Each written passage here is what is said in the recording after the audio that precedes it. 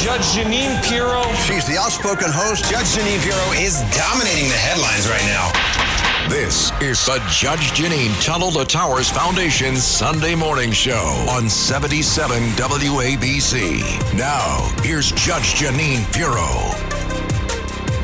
Welcome, everyone, to the Judge Jeanine Pirro to Towers Foundation Sunday morning show. Happy Sunday, everybody. On this Sunday, December 18th of 2021, it is the last Sunday before you know what? Christmas Day. I hope everyone is enjoying their day so far. It's a great morning here in New York City, and as always, we are armed and ready to serve justice.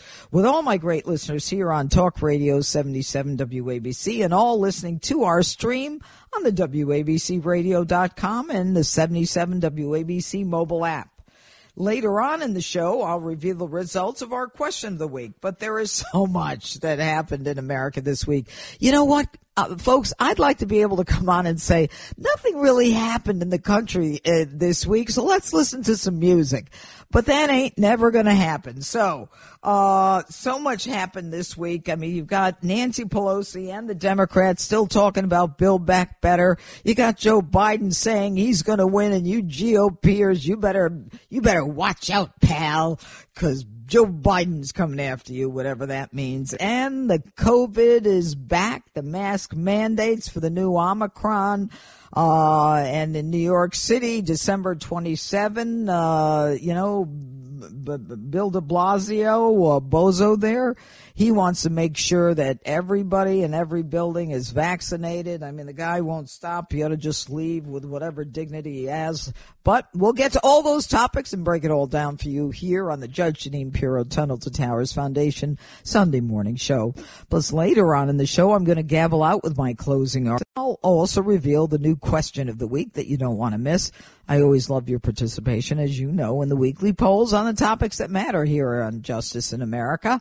It's all coming up in just a few moments on the Judge Jeanine Pirro Tunnel to Towers Foundation Sunday morning show. But first, it's time for my opening statement. Now, I have to tell you, everyone, when I decide to write an opening statement, you know, I think about what's happened during the week and I, you know, a lot of it, you know, it's political. It's just political. It's, it's, it can be law and order. It can be crime. Uh, cause of course that's my wheelhouse. But you know, tonight or or today, last night when I was writing this, uh, uh, I, I, was thinking about the holidays and Christmas and the Christmas spirit. So uh, today's open is a Christmas Carol to Nancy Pelosi. A Christmas Carol, of course, was written by Charles Dickens. In it, Ebenezer Scrooge is an elderly man who is visited by the ghosts of his past, and he is confronted with the mistakes that he has made in the past. You know the the movie where they come out in chains and he goes to bed and he's in his nightcap and his nightgown and all the ghosts come to visit him to talk about all the terrible things that he's done. Well, this Christmas carol is for Nancy Pelosi. The question for Ebenezer Scrooge or our own Nancy Pelosi is whether redemption is even available to her. Now, I, the way I would write it is the first ghost to visit Nancy Pelosi is the ghost of lawlessness in America. As the lead Democrat in Congress, Nancy could have stopped this, but she refused to do so. In fact, she says she doesn't even understand where the lawlessness comes from and she stood in front of uh, uh, the press and she says, It's outrageous. I don't know where it comes from. Do you? Nancy, Nancy, Nancy. You don't know where the lawlessness comes from? It's in your city of San Francisco where people don't even want to walk their dogs because of the human feces on the street, because of needles lining the street, and because they don't want to get caught up in crime that's enveloping the once magnificent San Francisco that was ruined under your reign. And admit it. The only reason, Nancy, that you even mention lawlessness for the first time in December is because you Democrats see the poll numbers. 67% of Americans are unhappy with the way the Democrats are handling crime. They are fed up. The American people are fed up with the loss of law and order, with rampant chaos on our streets, with the unprovoked assaults, the senseless, brutal crimes, convicted felons let out of jail long before their release date by Democrat prosecutors, Democrat governors. You know, Nancy, you are a legislator in the end. The elimination of cash bail under the guise of social justice has created a revolving door of criminals walking into and out of police stations never to return. And that assumes they're even arrested in the first place. You do know that it was in your precious state of California where criminals are now allowed to steal less than a thousand dollars repeatedly and not be prosecuted, not be arrested. So they repeatedly and serially hit stores over and over and over again till they get to 30, 40, 50,000. As long as they do it one at a time, then they sell their stolen goods on the streets of San Francisco while you and your liberal rich pals look the other way and eat unmasked at the French laundry. Yes, Nancy, I am the ghost of the past telling you that you helped create the lawlessness that is destroying my country. Another ghost that would visit Nancy Pelosi under my Christmas carol is the ghost of immigration. And while we suffer from hordes of unvaccinated illegals surging into our country in the middle of a pandemic, we are left to deal with individuals who are criminals, mules for the cartels, and human smugglers. Our children are dying from fentanyl sent by China through the Mexican cartels, secretly added to counterfeit pills like Xanax that kill our children in an undeclared war on Americans. Gang members come through unquestioned, who then go on to maim and kill innocent Americans, some of them teenagers. And what is your answer about MS 13 and the other gang members who carry out barbaric, brutal, medieval violence against innocent American victims? When you were asked about these thugs who maim and kill as part of their initiation, you say, they are all children of God. Nancy, children of God, that's your answer? That's your answer, Nancy, to the MS 13 gang members who come into this country in New York City, all over New York, who brutally beat to the point where you can only identify a victim from his dental records? And Nancy, another ghost to visit you the ghost of greed. That's a big one for you, honey. You've made millions, hundreds of millions of dollars since you've been in Congress. You're like so many who enter Congress of moderate means, cover each other's backs, so you can all reap the benefits of the insider information that you get, of the laws that you pass the information that ordinary Americans have no information about. And this week you were advised, this week, after a five month investigation by Business Insider, the 49 members of Congress and 182 senior congressional staffers violated the Stock Act, the insider trading law, and your reaction? Well, as long as they filed. I mean, we are, you know, we are a, a capitalist society. We should be able to invest. This brought a huge negative response from fellow Democrats, fellow Democrats, not in Congress, of course, because you all eat from the same tree. But you know, to put this in context, Nancy, since becoming Speaker of the House, regaining the uh, gavel as Speaker in 2018, your total assets went from 114 million to 271 million in 2019 to 315 million in 2020. 60 Minutes even accused your husband Paul of insider trading. And Nancy, lying to the American public is another ghost that will always haunt you because as Speaker of the House, you have set the tone and the policy for all of us. Your lies are too many to identify, but this week, my favorite one was when you said you didn't know what causes the lawlessness. The ghosts of Christmas past are all around you, Nancy. I have no idea how you can change what has already happened, and I have no faith that greed and selfishness and lying that you engage in will ever change. In A Christmas Carol, Scrooge learns the errors of his ways and seeks redemption. I'm not so sure that that is how your Christmas Carol ends, Nancy, but hey, it's the Christmas season. Anything's possible, even for you. And that's my opening statement here on the Judge Jeanine Pirro Tunnel to Towers Foundation Sunday morning show.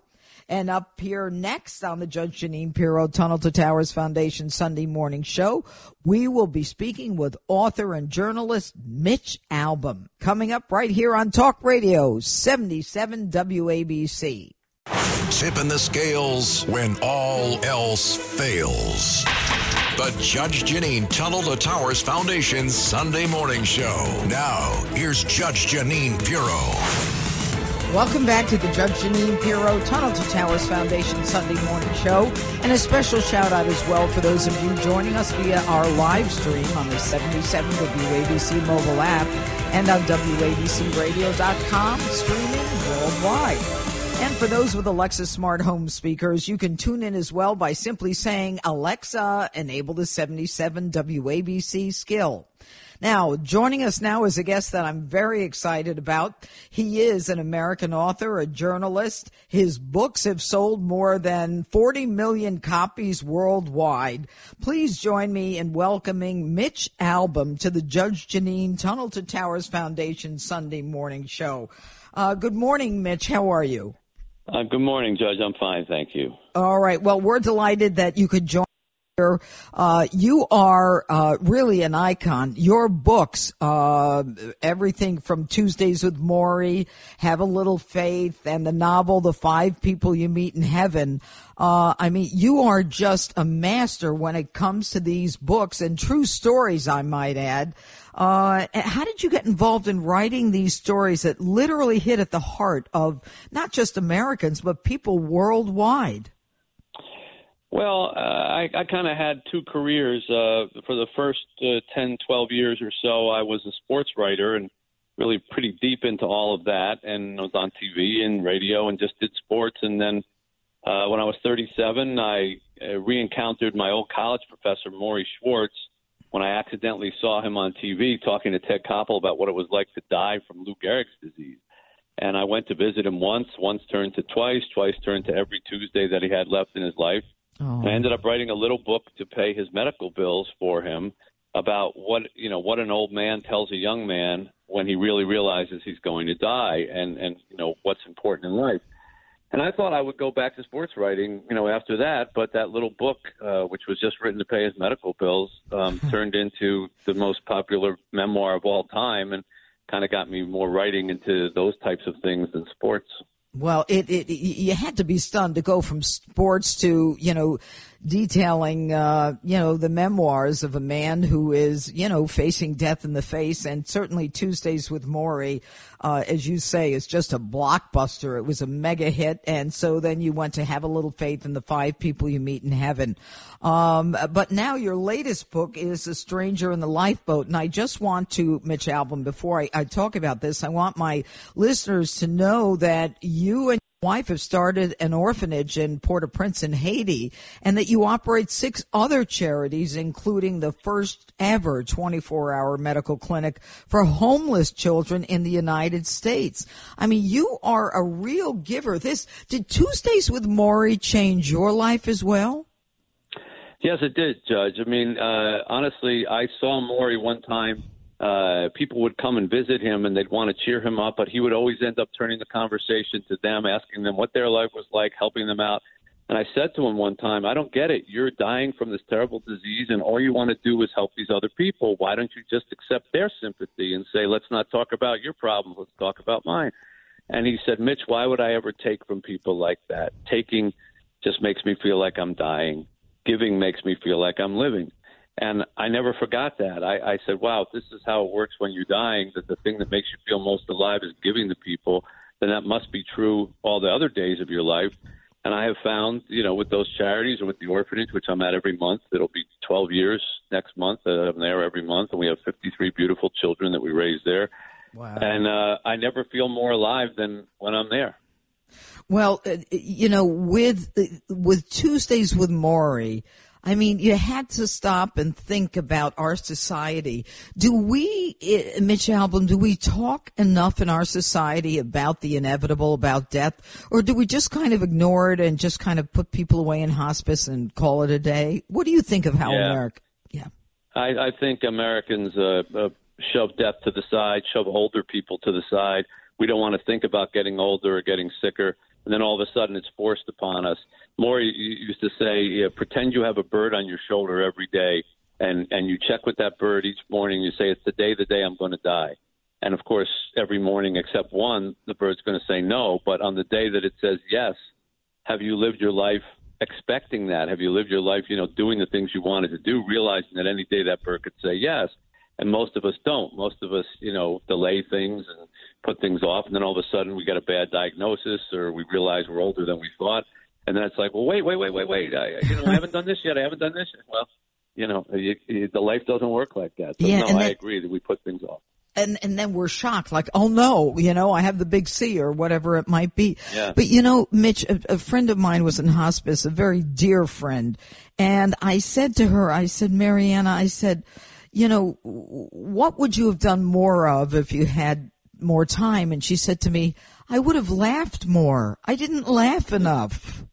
Mm, and wow. I kind of, I kind of try every day to think about that. But like, but, but Mitch Albom, your, your new book is a story about, um, uh, what stranger in a lifeboat. You ponder what we would do if after crying out for divine help god actually appeared before us. You have a religious strain in the books now your latest stranger in the lifeboat which i might add and by the way to my listeners mitch has not asked me to do this. I just believe in this man. He is a very powerful man with a powerful message the book is stranger in the lifeboat you can get it everywhere but tell us a little bit about the stranger in the lifeboat so it begins with this uh, one of the richest men in the world has this luxury yacht, and he invites all his famous rich friends on it for a week. And mysteriously, during the voyage, it, it explodes, and everybody on the yacht is killed except 10 people who managed to get to a life raft five of the rich guests and five of the staff members. And they're out in this lifeboat for three days. Nobody is coming for them. They're running out of food. There's sharks in the water. They're crying out for help.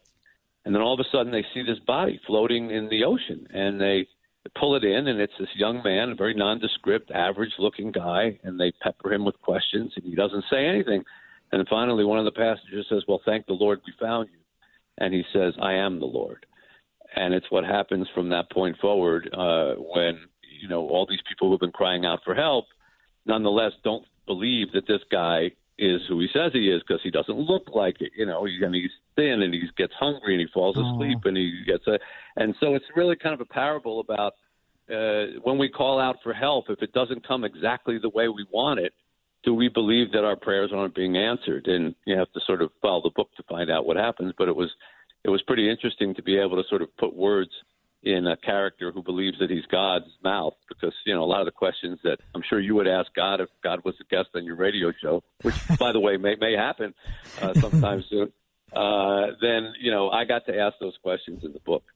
Well, and and Mitch Albom, I mean, you you're always exploring the kind of the essence of God on earth through through riveting stories that are kind of part equal parts mystery and and parable. I mean, for a yeah. sports writer to kind of to kind of come out at that end is really amazing. And you repeatedly challenge our understanding of faith. Uh, but even more than that, I mean, in addition, by the way, that to the charities in in Haiti, you've got charities in the United States around Detroit. Uh, you you have put into action the money that you've made uh, from these incredible parables. There are allegories that you've made available to all of us. That that you hit a chord in all of us. Why do you think you hit that chord? Not just in one book, but in all of your books.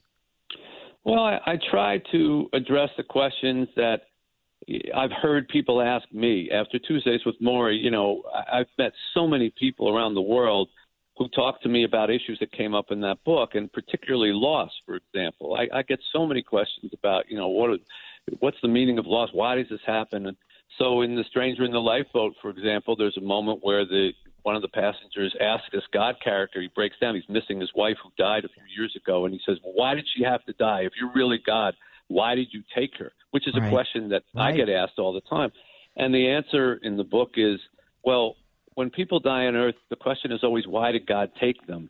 Maybe a better question would be, why did God give them to us? What did we hmm. do to deserve their love, their attention, all the memories we made? And he says, I, I know that you cry for those who die here on earth, but I can assure you they're not crying. And, you know, for me, I know that that would be of comfort to people who've lost people. I know yeah. it because I I lost a child a few years ago. And my wife and I adopted one of our kids from Haiti who had a brain tumor, and she passed away. And I had to battle with that whole thing about well, how can there be a God in the world who isn't benevolent happen. to right to a seven year old? But then I began to look at it and say, well, wait a minute. You know, we had her in our lives for a couple of years. What did we do to deserve that? We were in our mid 50s. That's way late to get the joy of having a, a child and being a parent, and yet we were given it. And if you look at it as like we didn't lose a child, we were given one, then you're not as angry and resentful and questioning, you know, God or the world when things are lost. And I, I thought, well, maybe that'll be of some comfort to other people. So I try to work those kinds of lessons, Judge, into into my stories. Well, that is that is comfort, Mitch Albom, and and so you, you kind of take the reader to the celestial realm to seek meaning in in our in our corporal existence. You, I know you're busy, so I'm going to let you go, but I have one more question. In the United States do you think that that our culture is different from other cultures in and you know in what you see and I, I am not intending to be political and I don't want to be political. Yeah. Um you know with the with the resentment that we're getting, you know that that God and I you know I believe in in the separation of church and state, but it's almost as though religion is now kind of like older people in the United States pushed under the carpet. Uh, are yeah. we different from other countries? Well, I, I can speak to the countries that I spend a lot of time in, and let me say this, Judge. When I'm in Haiti, I'm with 53 children whose entire possessions can fit into a 12 inch by 12 inch cubby. They have Aww. nothing by comparison to Aww. us. They have no internet, no phones, no social media, no websites to celebrate themselves, no TikTok videos, and they are the most faithful and joyous kids. Every night they, they say prayers of thanks to God for what they have and that they're alive and they have food to eat. Now, compare that to us. We have everything. You know, there's not a house that doesn't have a television in it, and, and, and, and all the things that we don't have are pretty standard here. And yet, we seem to be moving away from religion. Yeah. There has to be a lesson in that, right? Uh, when we, we when we make things for ourselves and make ourselves the center of the universe, and we have everything that we need, we stop to, thinking about well, maybe we've been blessed with this, and we just sort of start to think, well, maybe we deserve it. You know, hey, this is this is who we are. Yeah. We have all this stuff coming to us. Whereas when you see a culture that has nothing, you see people who are so grateful for anything. So yeah, I think we are different, uh, and not always in the best way. Well, uh, that that is a uh, that that certainly is my sense, and I get you know, sometimes I become very disappointed, and it seems that uh, of late, you know, more and more religion is being pushed to the side, and uh, I, I, I'm not, I'm not a person who thinks that it should be everywhere, but you know, I went, I went to Catholic schools, Catholic high schools, and all that. I was raised as a Roman Catholic, and it doesn't matter what your religion is; it's that you believe in in God and a higher power. Right. But uh, well, you know, isn't it isn't it funny, Judge, how when we are doing well and we're accomplishing everything we're saying, look at what I've done. But as soon as we get a bad diagnosis, it's like, please, God, take care of this for me. You know, God help me. Uh, you're out in the middle of the ocean. God help me. Why is it that we only cry out for God when we're in trouble, but when good things happen, we somehow think we're responsible for it? God, that is so true. That is so true. It's like all of a sudden God's in our life when we need help. Like God, yeah. I don't want to have this. Yeah. I don't want this to be cancer, or I don't want to go to right. jail, or I don't whatever it might be. Um, it is, and your books now after Stranger in the Lifeboat. I mean, you're going to continue to write Mitch Albom. Yep. Oh my goodness, yes. I hope so. as long as I have fingers and and ideas, I hope so. All right. Well, Mitch Albom, it has really been an honor to talk to you. Uh, uh, to my listeners, the author of Tuesdays with Morrie, the best selling memoir of all time. I mean, this man puts pen, Mitch Albom puts pen to paper, and uh, it's just a number one New York Times bestseller. Uh, the latest, The Stranger uh, in the Lifeboat, and uh, I'm looking forward to whatever comes. And by the way, for all you listeners, Mitch is married to a Janine, J A N I N E. Uh, anyway, Mitch, listen, have a wonderful holiday. Merry Christmas. God bless. Merry Christmas and thank you. you for what you do to all of us and for all of us. I was speaking about you before the show started uh, with my son's uh, girlfriend, and she said, "Oh yeah, I read Tuesdays with Morrie in college. Mm-hmm. It was a, one of the best books." And you know, these kids are hip kids, you know. But yeah. you you strike a chord across the generations, Mitch. God bless you and thank you. Well, God bless you too. Thank you, and a Merry Christmas to everybody. All right, thank you, Mitch. All right, everyone. That was Mitch Albom, "Stranger in the Lifeboat." The man is a uh, he is a legend, and uh, he is in the middle of uh, writing more books, as we heard. And so, up next in the Judge Jeanine Pirro Tunnel to Towers Foundation Sunday morning show, we're going to be speaking with New York PD Commissioner Dermot Shea. And we're going to ask you our question of the week and tell you how to participate when the Judge Janine Pirro Tunnel to Towers Sunday morning show returns. Tipping the scales when all else fails. The Judge Jeanine Tunnel to Towers Foundation Sunday morning show. Now, here's Judge Jeanine Pirro. So joining me now is the 44th New York City Police Commissioner Dermot Shea. Commissioner Shea, we are delighted to have you on uh, the Tunnel to Towers Sunday morning show.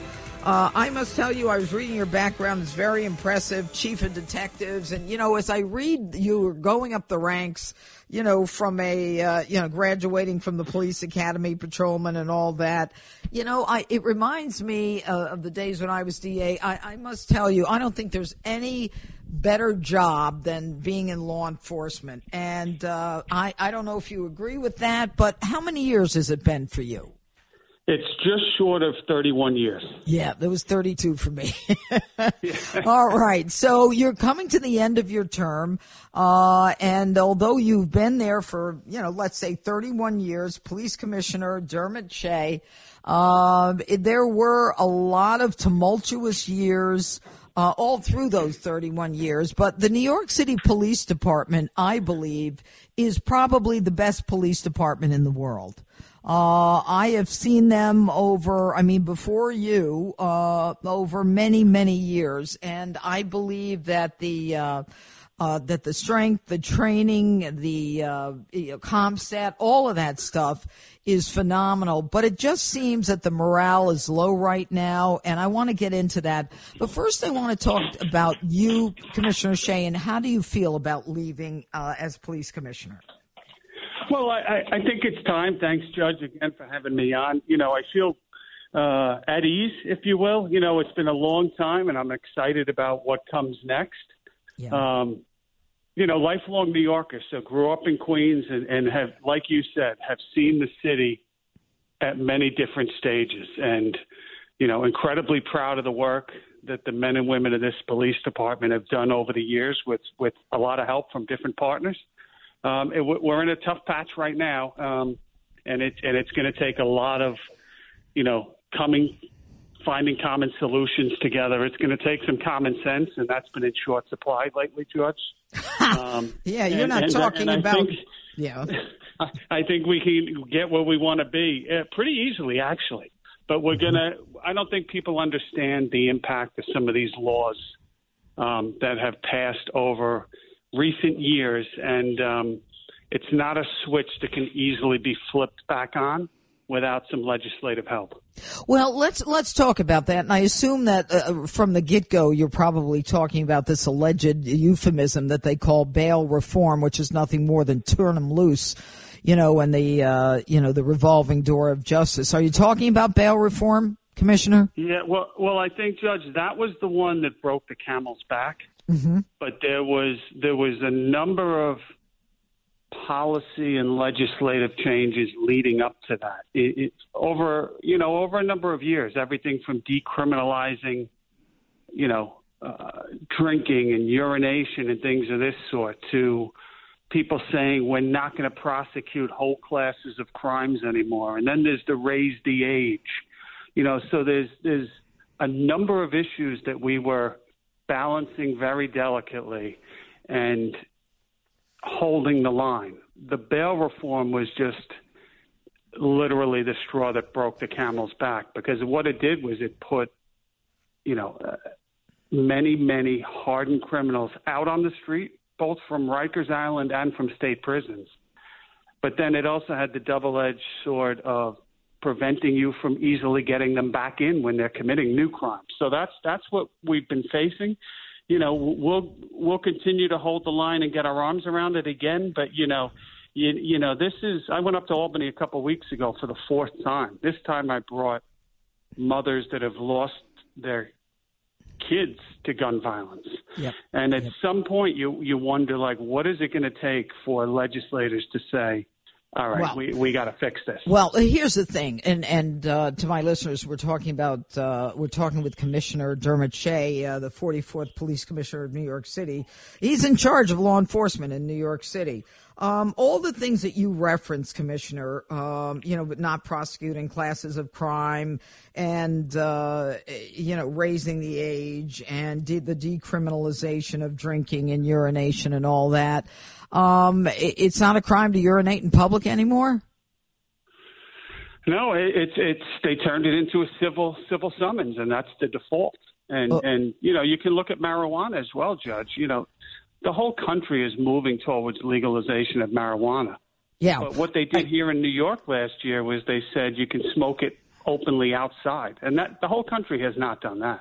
Right. And then they, and then they added into the law that when a police officer stops a car and somebody's smoking marijuana, don't search the car. So it's just these add-ons that have yeah. really it it you you have to understand that they're intentionally done by a a, a, a very well organized fringe that is putting these laws in front of legislators. But you okay. have to understand, you know, what their ulterior motive is. What and their ulterior motive is what? Uh, they don't believe jails should exist.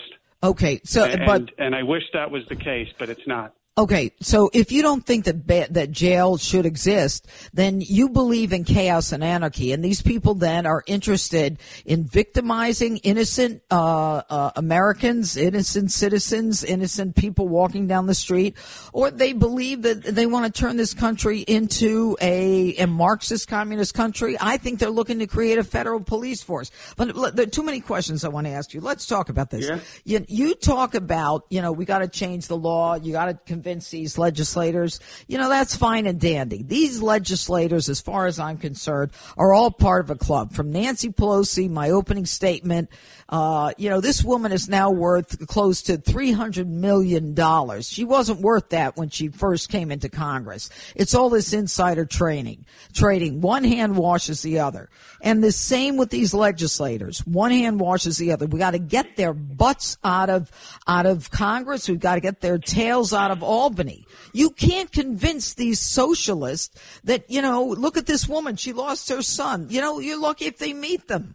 Look at all the women whose kids were killed by illegals and, and the legislators in, in Congress wouldn't meet with them. So how do we get these legislators out of office? Well, I, I think the only thing that gets their attention is is the people, and that's ultimately you're hitting on it. That's ultimately who's going to decide, you know, what happens next. I, I think the good news is the public is waking up to this. They shouldn't have to worry about this, but it is directly affecting them now, and they're starting to be educated about really what's happening with the laws and the impact of these laws. And and I think uh, you know my fear is that this is not a flip of the switch, quick solution. It's going to take a little time. But the, the, the shame of it, Judge, is that the people most affected by this is the people that need our help the most. And, and these are the people that live in, in some of the poorer areas of yeah, the city. Inner city, that, right. You know, are affected most by this crazy defund movement. All right, let's talk about the defund the police movement. A billion dollars taken away from your budget. Is that accurate? Yes, in okay. last year last year by this idiot. I'd like to call him more than that, but it's Sunday. Uh, by this idiot de Blasio. I can't wait for that guy to leave. He is the dumbest man I have ever seen in politics. He doesn't deserve to be the dog catcher, but I'm not going to waste time on that. So he defunds a billion dollars and he gets crime going through the roof and he says it's the pandemic and he says he'll get people to talk to each other. Did you ever talk to this idiot and say, look, here's the bottom line. You don't put criminals in jail. They're going to kill people. You get rid of the street crime unit, the uh, what what do you call it today? The anti-crime unit, and you know the inner city, brown, black people. They're the ones who are going to be hurt. The minorities are the ones who are being hurt, while the dirt bags put guns in their waistbands and look at you like, "Don't even look at me." Do you ever talk to De Blasio about this crap? Listen, I, I, I talk to all elected officials, judge all the time. I, I think from day one, you could say if anyone looks back, I, I've tried um, to be the voice of reason in terms of representing all New Yorkers and, and warning them about what was happening. And, you know, the shame of it is, and, and I keep coming back to this, but just two years ago, it was our policies in the NYPD that had driven incarceration down to the lowest level in New York City history. I, re- I you remember. Know, and, and driven crime down. Yep. So we, we you started off with a very nice compliment, and I thank you. We are the best police department in the world, and we know what we're doing. Mm-hmm. But it, it's time that you know some of the uh, the people in elected office recognize that.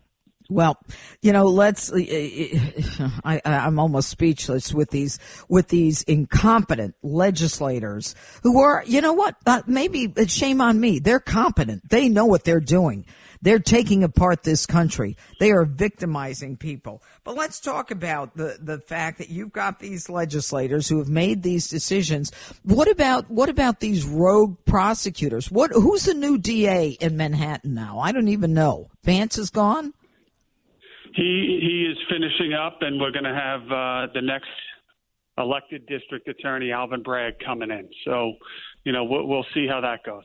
Okay, and he, is he a progressive or just a Democrat? Is he one of the progressives? Is well, he has uh, he has put out a uh, a blueprint.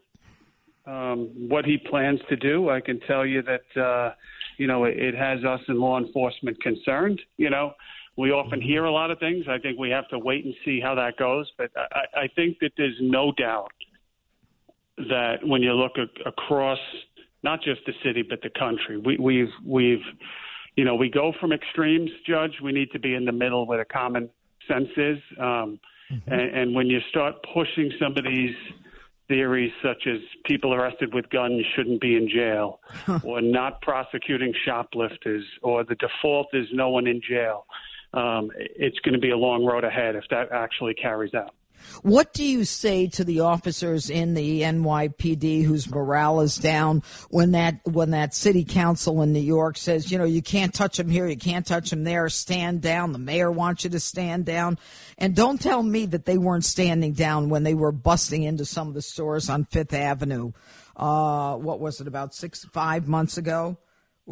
First yeah, of all, well, go ahead. What what what I will say was, you know, when when they were breaking into those stores we we were arresting them quicker than we could. Um, those laws put them right back on the street, which is which is which is the tough point here. But what I say to them each and every day across New York City for the last two years is, you know, hold the line. Um, throughout COVID, 63 members uh, that we lost, 20% of the workforce sick, uh, defund, being attacked. Um, it was no doubt, you talked about morale, the toughest time that I've ever seen in 30 years. But incredibly proud of two things not just that they, they held the line, and, and I'm talking about record numbers of gun arrests that we've made, more than in 25 years. Right. Showing up to work in the toughest circumstances, but also doing it. And here's the most important thing because it cannot be law enforcement versus everyone else. We're doing it together with the community. I think we have a a phenomenal relationship with the people of New York City across every neighborhood, every ethnicity. I really truly believe that, Judge. But well, what, what's happening so. is uh, we do, we do, and it, and it's a combination of smart policing and and investments in time and energy into neighborhood policing and relationships. It's it's just this well community policing. Grabbing. Yeah, yep. It, it's important. What would you say to Bill De Blasio on your way out? Uh, you know, there's nothing that I'm going to say that I haven't said uh, many well, times. tell me. Maybe I haven't heard it. You know, it, is he an idiot?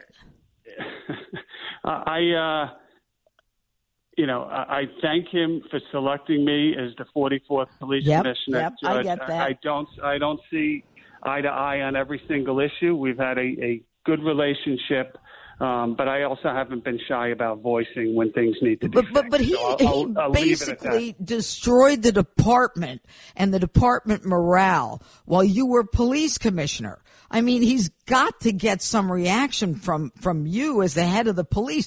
I don't care if you're PBA or anything else. The bottom line is he destroyed the police. When I saw when I saw this past summer, you know, people walking up to police and spitting at them and screaming at them within an, within an inch of their face, I wanted to go out there and slap them.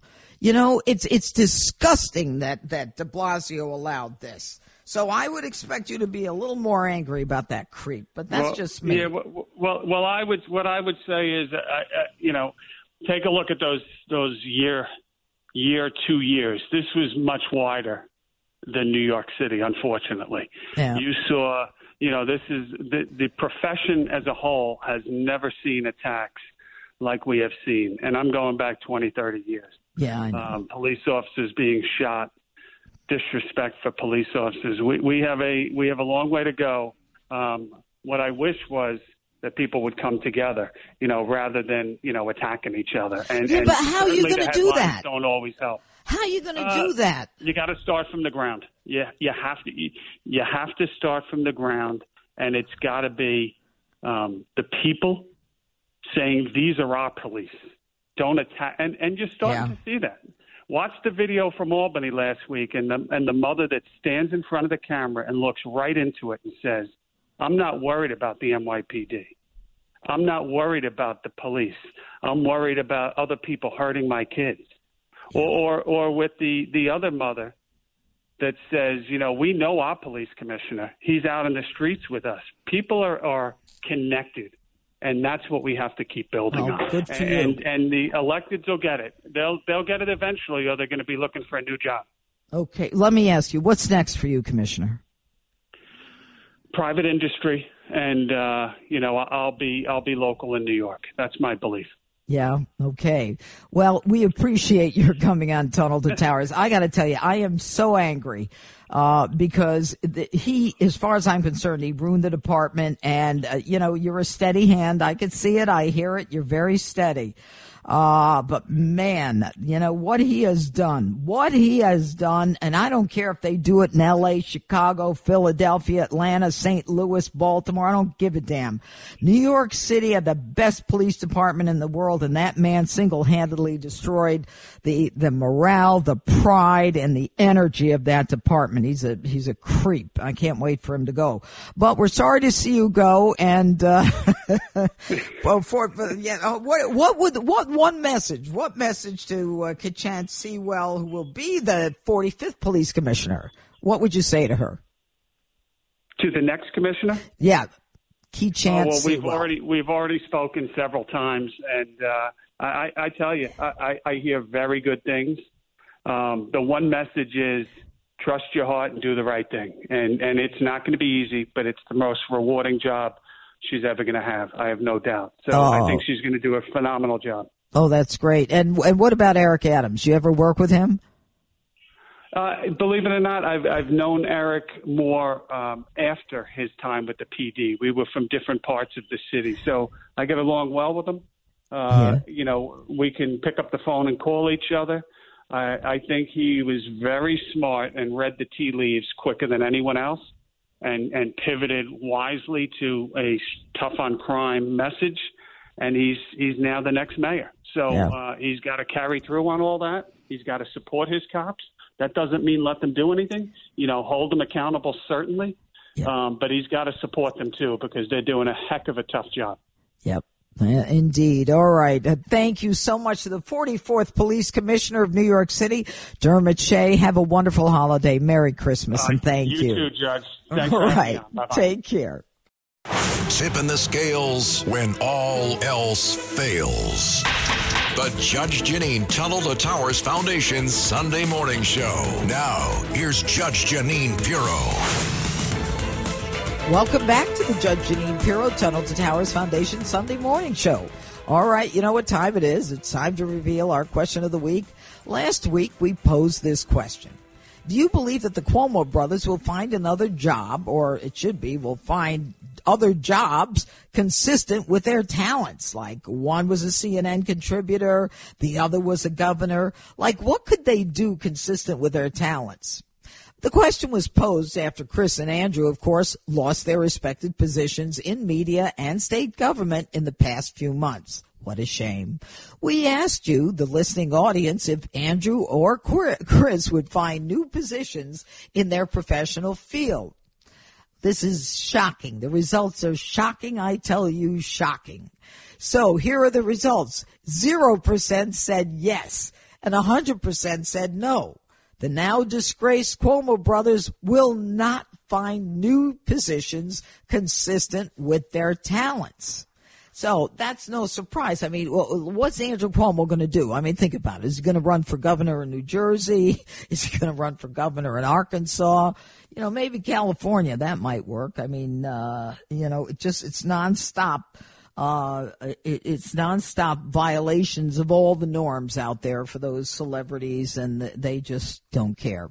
So in any event, for this week's upcoming question of the week, now, I'm thinking about we've got the police, the new police commissioner coming in. We had uh, the 44th police commissioner, uh, Dermot Shea, who, by the way, is he's a very even keeled guy, very unflappable. You know, get excited, nothing. Uh, but we've got this new one, Keechant Sewell. I like the way she looks. I'm reading about her. I, it sounds like she's going to be tough on crime in New York City.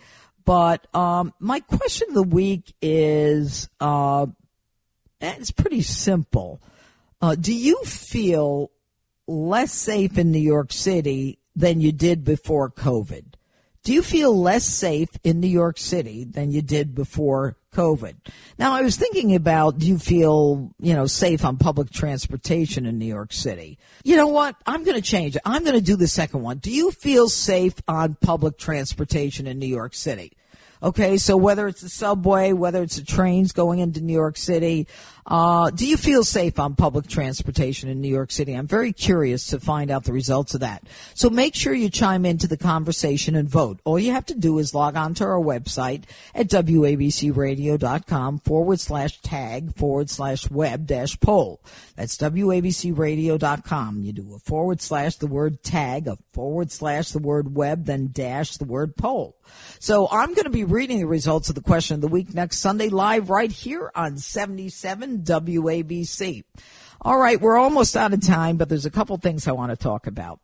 you know, as we approach the holiday, uh, it was it was wonderful having Mitch Albom on the show. I mean, he's such a positive, inspirational guy uh, who talks about things that that that we don't talk about. And it was very interesting that he said that in this country, as I thought, we don't spend a lot of time talking, you know, dying, which is inevitable. Uh, and we don't respect the elderly the way we do in other countries. And, uh, you know, I wish that would be different. I really do.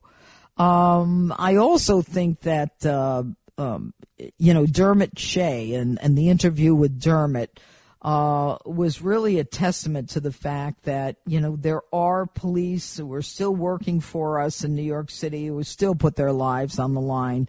Uh, it's a, it's a, you know what show uh, for them every day when they go out. And we have to kind of thank them. So when you see a police officer, you know, give them a thanks, give them a, you know, uh, just a hello, anything to let them know we do appreciate what they do. I think it's this, that time of year when we kind of have to put our put our lives in order a little bit. Think about what we want to do next year. You know how it should be different, how it should be better, what we can do. Uh, and next week, I'm going to talk about some of that stuff when we talk about, you know, the new year and uh, what we want to change. So uh, I can't believe that we're out of time already, but I want to make sure that you join us right back here next Sunday at 11 a.m. sharp for the Judge Jeanine Pirro Tunnel to Towers Foundation Sunday morning show. Uh, up next, it's the Dick Morris Show where you can listen to great political commentary on the issues you care about. The guy's a genius, everybody. I, he's just his brain, you know, it needs to be saved for generations. He is a real political genius.